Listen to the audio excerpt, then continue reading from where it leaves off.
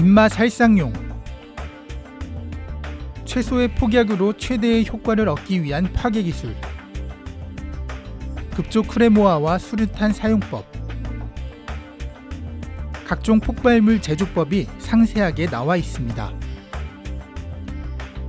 육군 특수부대에서 제작된 폭발물 교범입니다. 전시의 적 후방 지역으로 침투해 한정된 폭약으로 최대의 파괴 효과를 내기 위한 방법 등이 담겨 있습니다. 화약류, 폭파개론 등의 이론을 비롯해 실제 군부대 폭발 사고 사례와 각종 뇌관, 점화장치 제작 사용법까지 마음만 먹으면 누구나 폭발물을 만들 수 있을 정도로 구체적입니다. 지금 모르겠는데 제가 배울 때는 실제 제가 배운 내용이에요. 이게 제목이 특수폭파인데 근데 이게 전시에 저 특전사 요원들이 전시에 이제 넘어갔을 때 최소한의 폭약으로 최대한의 효과를 내기 위해서 이걸 배우는 건데 이 교범이 외부에 유출되면 어떤 일이 벌어질까? 지금은 전시가 아니기 때문에 이런 것들이 장난 삼아서 아니면 호기심에 만들어 가지고 진짜로 설치를 해가지고 터지면 전시 때보다 더 큰 위험이 생겨요. 왜? 무방비 상태니까 지금은 내관이랑 폭약만 어찌 구할 수 있다 그러면 똑같이 만듭니다. 바보 아닌 이상 초등학생들도 만들어 이거 보고 이게 육군 특수부대에서 제작한 폭발물 교범입니다. 보시는 것처럼 폭발물 제조 비율까지 상세하게 나와 있습니다. 이 교범은 범죄나 테러에 악용될 수 있기 때문에 군에서도 보안이 요구되는 통제교범으로 분류되고 있습니다. 당연히 외부 반출이 금지되어 있습니다.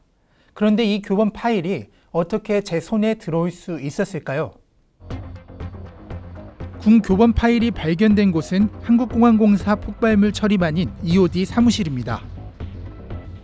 이상하게 생각한 EOD 관계자가 뉴스타파에 파일을 보내왔습니다. EOD 요원들은 특수부대 출신이 많습니다. 이들 가운데 누군가가 군에서 빼냈거나 군 관계자로부터 넘겨받은 것으로 추정됩니다. 전문가들은 유출돼서는 안 되는 자료라고 입을 모읍니다. 이게 나- 일반인들한테 나오면 안 되는 책자예요. 근데 이거는 실제 폭력하고 위력이 다를 바가 없다니까요. 인터넷도 위험한 건 있는데 거의 대부분 보면 인터넷을 살펴보니 뭐 보면은 조금 장난스러운 근데 위험해요. 엄청 위험해요. 그것도. 근데 이거는 더 위험해요. 인터넷에 떠도는 자료들은 그냥 자료도 아니죠.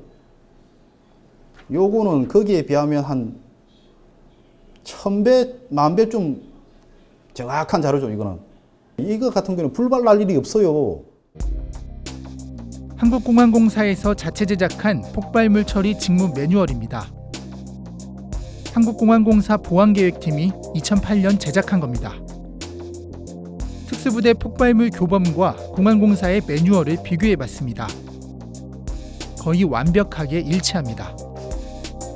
사진, 줄 간격, 띄어쓰기마저 똑같습니다. 누군가 군 교범을 유출했고 공항공사의 매뉴얼 제작에도 교범을 이용한 겁니다. 통제 교범은 육군본부 허가 없이 복제, 복사할 수 없습니다. 육군본부는 공기업으로부터 폭발물 교범을 요청받은 사실이 없다고 밝히고 있습니다. 이게 1, 2, 3까지 있어요. 이 보고 저도 깜짝 놀랐죠. 이게 특수폭파 교범이 왜 공항 EOD 반에 있을까? 그것도 만드는 비율까지 다 해가지고 민간에서 이걸 배울 필요가 없잖아요. 실시간이니까 지금 민간에서 얘기하는 이거 지금 이게 다 지금 크레모하고 이건데 이런 게 왜 필요하냐고. 민간에서. 외부 반출 금지로 돼 있죠. 외부 반출 금- 금지되어 있는 군사 자료를 가져오면 예, 공기법 위반이 되는 거죠. 그렇게 해서 여기로 넘어왔고 그래서 여기 넘어왔는데 어, 그 증거가 그림 같은 걸 보면 이게 그대로 이제 인용이 됐다는 거잖아요. 도형하고 이런 게 그렇다는 거는 교범을 가져가서 PC를 친게 아니고 예, 파일 어, 파일로 그대로 이렇게 간 거죠. 그게 어, 현재까지 이 두 개의 자료를 보면 이제 유추해 볼 수 있는. 그러면 누가 왜 파일을 유출했을까? 나와서 공항에 들어갔는데 내가 좀 크고 싶다. 두각을 내고 싶다.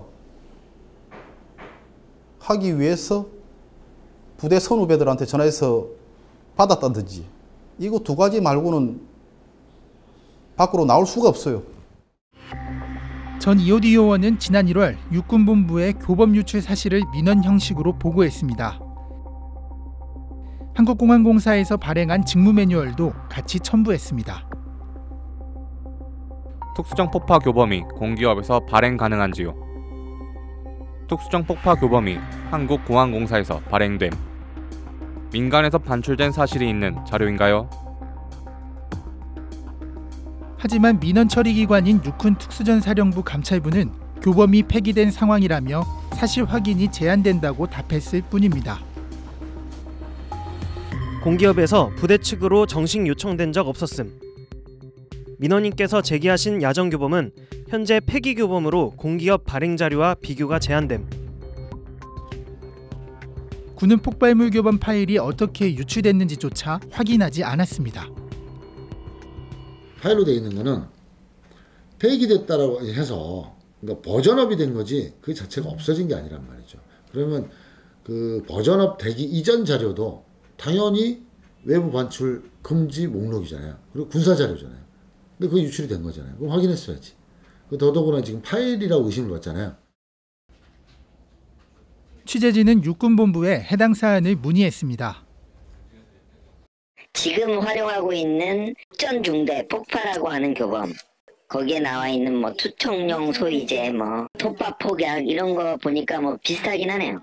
교범은 군사용 목적으로만 사용하는 겁니다. 어, 저작권은 육군본부에 있습니다. 그러니까 다른 기관이 이걸 가지고 있다면 잘못된 거죠. 교범이 유출된 건 문제지만 아무런 조치를 취하지는 않았다는 겁니다. 기무에서 나서야죠. 기무 사령부가 나서가지고 이거 회수하고 이게 얼만큼 퍼져 있는지 몇 건을 만들었는지 어디에 배포돼 있는지